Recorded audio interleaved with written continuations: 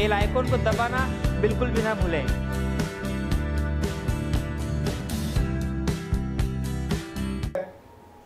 खरगोन ज़िले के बड़वा में टोकी रोड पर स्थित पुलिया पर एक मोटरसाइकिल अनियंत्रित होकर नीचे गिर गई, जिसमें बाइक पर सवार दो युवकों में से एक युवक की घटनास्थल पर ही मौत हो गई। वहीं एक गंभीर घायल युवक को बड़वा अस्पताल लाया गया।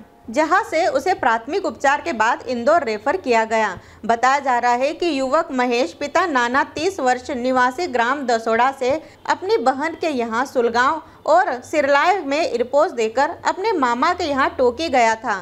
ग्राम टोकी से मामा जगदीश सोमो, उम्र 50 वर्ष मानकर व मृतक महेश मानकर मोटरसाइकिल पर सवार होकर बड़वा की ओर पारिवारिक कार्य से जा रहे थे।